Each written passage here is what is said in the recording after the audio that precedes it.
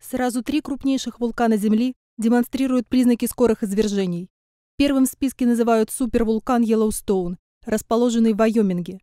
В его окрестностях за прошедшие два месяца зафиксировано около полутора тысяч мини-землетрясений.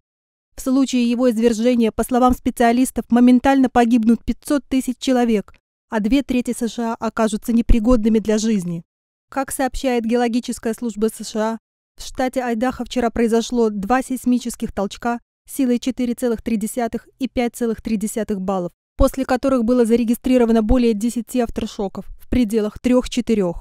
Эпицентр землетрясения находился в 28 километрах к востоку от населенного пункта Сот-Спрингс на глубине около 10 километров. События, которые были замечены на днях, наблюдались и ранее непосредственно перед извержением других вулканов. Это резкое увеличение высоты кальдеры появление новых трещин.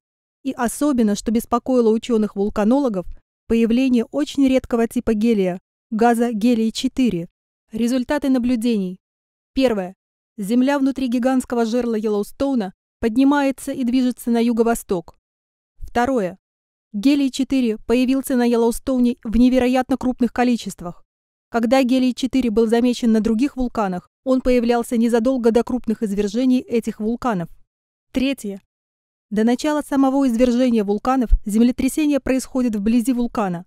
Отметим, что одно из крупнейших землетрясений произошло неподалеку Йеллоустонского кратера. В том случае, если Йеллоустонский вулкан начнет извергаться, последствия могут быть катастрофическими. Кроме непосредственного ущерба от извержения, например, выпадения пепла на громадной площади, в результате извержения большие объемы пепла окажутся в стратосфере, и на планете может наступить вулканическая зима. Как говорится в докладе ученых «АЛЛАТРА наука», о проблемах и последствиях глобального изменения климата на Земле, эффективные пути решения данных проблем. В современном мире глобальных климатических изменений нельзя ручаться ни за одну пять Земли ввиду проявления новых, экстремальных аномалий природы, представляющих опасность даже для относительно стабильных районов проживания.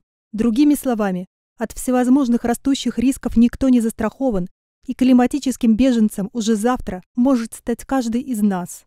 В связи с этим крайне важно глобально и быстро менять ценности общества с потребительского формата на духовно-нравственный, созидательный формат, где добро, человечность, совесть, взаимопомощь, дружба, доминирование духовно-нравственных основ стояли бы на первом месте во взаимоотношениях между людьми независимо от их национальности, вероисповедания, социального статуса и иных условных, искусственных разделений мирового общества. Когда все люди будут стремиться создавать жизнь, удобную для всех окружающих, то в этой жизни они и будут сохранять себя и свое будущее.